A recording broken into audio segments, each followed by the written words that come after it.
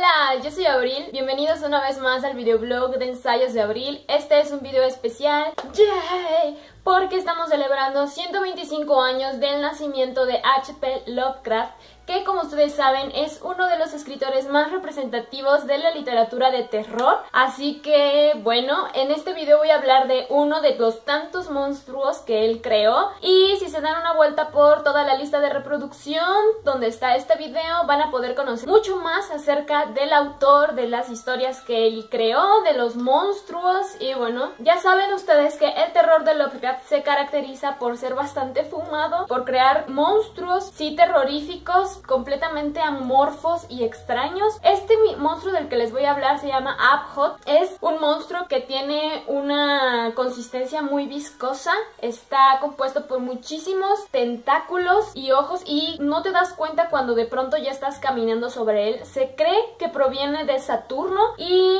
aparte de los tentáculos con los que te succiona, también al crea un contacto telepático contigo, una conexión y muy pocas personas sobreviven a ella. O sea, de verdad es una conexión bastante fuerte. Abhot lo que hace es succionarte y bueno, sus hijos los deja ir, se llaman los hijos de Abhot y después los vuelve a comer. Es un monstruo bastante aterrador, la verdad. Les voy a dejar unas imágenes por si no me expliqué adecuadamente eh, donde van a poder ver más o menos por qué es tan aterrador. Este monstruo sale mitos de Cthulhu, bueno no sé si así se pronuncia, Ahí el personaje principal, que es un Lord Abhot, percibe la presencia de Lord, pero lo considera una amenaza, bueno, más bien lo considera irrelevante, cree que si se lo come o si lo absorbe le va a hacer indigestión, así que permite que el Lord pase sin que Abhot le haga nada, es algo bastante chusco, la verdad. Déjenme en los comentarios cuál es su monstruo favorito de Lovecraft, también vayan a ver el resto de videos de esta lista de reproducción y